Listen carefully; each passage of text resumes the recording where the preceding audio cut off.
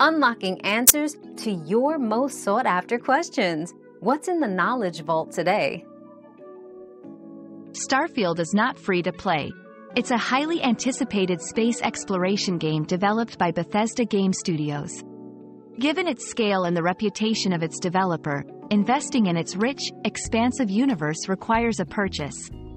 For those looking to explore every corner of this next general RPG, planning for the initial cost is essential.